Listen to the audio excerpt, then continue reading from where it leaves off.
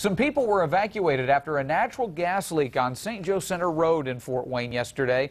And tonight they still have a lot of unanswered questions. The first, why did that fix take so long? News Channel 15's Megan Royce talked with neighbors and folks at NIPSCO today. So Megan, did officials tell you what the issue was? Mark, they did. NIPSCO says it faced additional challenges with this gas leak. That's because a contractor in the area drilled right into a main. What started off as a brief evacuation around 1 in the afternoon turned into a huge inconvenience for some folks living on St. Joe Center Road. I don't see why it took 12 hours to fix a gas leak. Greg Black lives right across the street from where a contractor drilled into a gas main. He says the smell of the natural gas was overwhelming. It was so strong that you couldn't it made you sick to smell it. Black and about 20 others were evacuated as a precautionary measure. Half of those folks were quickly allowed to return home. The others, they had to wait until close to 11 p.m.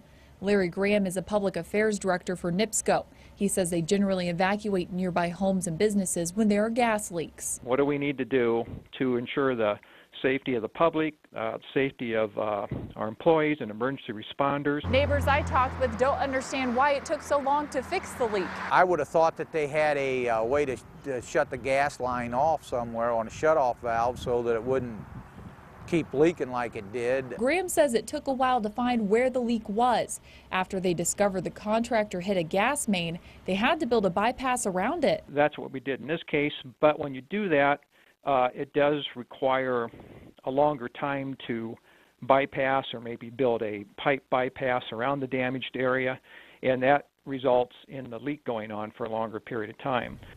Black told me some of his neighbors went back home before they were supposed to. He says that's because they had nowhere else to go and no money for a hotel room. NIPSCO tells me they're still investigating the incident. Reporting in Studio 15, Megan Royce, News Channel 15.